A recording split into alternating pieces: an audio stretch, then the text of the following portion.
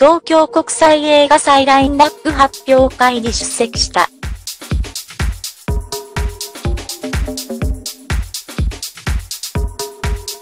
女優の佐々木新音27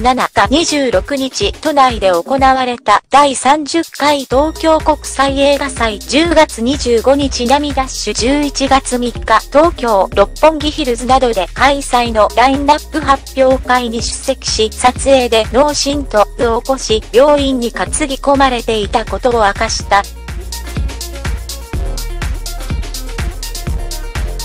佐々木は映画祭のコンペティション部門に選出された最低。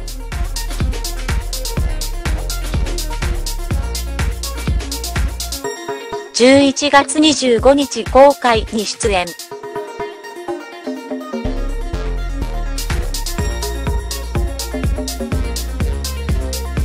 この日は同作のせ繰り返し高久監督57共演の森口彩の31山田愛菜19と共に登壇しトークを展開。せ繰り返し監督がプールに落ちるシーンで佐々木さんが本当に脳震盪を起こして病院に行ったんですと自ら暴露した。せ繰り返し監督はすいません。安全面の準備万端だったんですが、と平身低頭。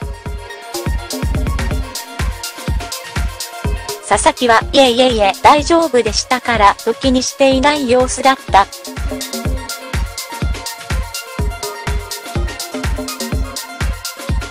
佐々木は仕事にやりがいを感じているアブ女優の役で劇中では大胆なヌードや濡れ状も披露している。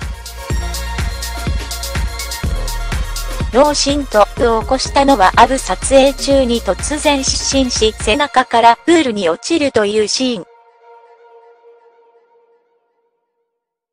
ストーリー上でもその次は病院の場面になるが現実でも同じ展開になるという偶然の一致が起きていた。